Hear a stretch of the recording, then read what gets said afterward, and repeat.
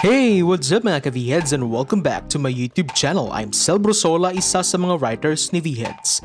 Maylin pa at tinanghal na MVP of the Week sa Thailand. But before that mga ka-VHeads, please don't forget to subscribe and click the notification bell to be updated on my upcoming videos. Maylin Paat end year 2021 with a bang. Ito ay matapos na sa huling linggo ng mga aksyon sa Thailand Volleyball League sa taong 2021 ay tinanghal na week's most valuable player si Binay lefty spiker Maylin Paat. Matapos niyang buhatin ang kanyang kupunang Nakhon Ratchasima sa tatlong laro ay at last nakakuha na sila ng kauna-unahang panalo noong December 29 kontra sa Nakonon team ni Kutika Kaupin.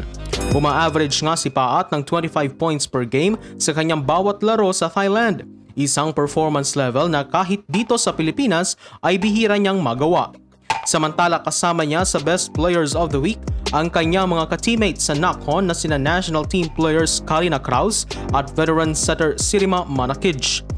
Muli namang tinanghal na Best Outside Spiker of the Week si Nakonon Captain Kutika Kaupin. Pero mistulang ito na ang huling Best Outside Spiker recognition ni Kaupin ngayong season dahil nagtamo nga ito ng injury sa kanilang laban kontra sa Cat Devils. Ayon sa ilang Thai news ay mukhang dalawang buwan na di maglalaro para sa kanyang koponan si Kutika upang mag-recover sa injury na kanyang natamo. Samantala din ang haldi na best outside spiker ang powerful spiker ng Diamond Food na si Sasi Papon Chantavisut. Second best middle blocker naman ng Linggo si former Signal HD Spikers import at ngayon Diamond Food blocker Lianes Simon. Best opposite si Sutina Fasang ng Proflex VC at best receiver si Supreme Chambri import Supatra Pairoj.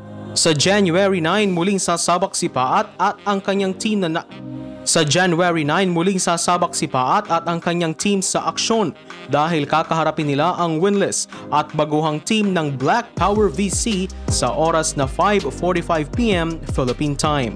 So there you have it mga ka-V-Heads. Thank you for supporting this channel. Please don't forget to subscribe and click the notification bell to be updated on my upcoming videos.